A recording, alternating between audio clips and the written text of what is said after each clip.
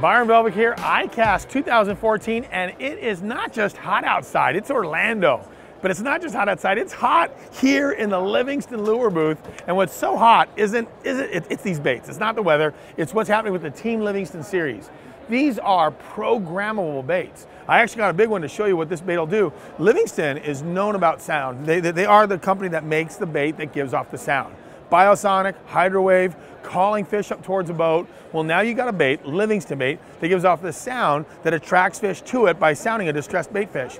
Tackle Warehouse is getting these things in right now, and you know if you're on Tackle Warehouse, you're looking for the best stuff and the hard to find stuff. And Tackle Warehouse is stocking this Team Livingston series. This bait, once it's dipped in water and pulled out immediately, like you just scoop it real quick, automatically turns it on. Now it's on, and you can sit there and hold these two points and go through a rotation of sounds. You can have the original EBS technology, the original sound that came with all the old Livingston lures, the first series of them, but you can also hold it for a little bit longer, it goes into a crawfish sound. Hold it a little bit longer, it goes into another distressed shad sound. And if you hold it one more time, just keep holding it, it'll go to a, to a no sound at all. It will shut off.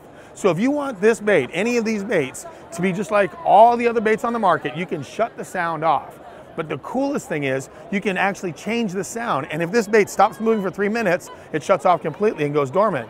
But this bait is programmable. You pick the sound you want. You want one of these red baits like Randy Howell won the classic on the Howeller, you can give that a crawfish sound. And then if I'm throwing one of the other baits, like, like this one right here, I can change that to the distressed bait fish sound. And while I'm throwing it, I can just change the sound throughout my whole day of fishing unbelievable. I mean, what, what are these guys gonna think of next? A programmable bait. And it's amazing that technology and fishing lures have actually come together. A year ago, two, three years ago, this would have been a $100 bait. Now this is a lot less than most of the baits out there, those premium baits, and yet it has all that technology built in. And this, Livingston Lure, Team Series Livingston Lure, is the world's first and only programmable fishing lure.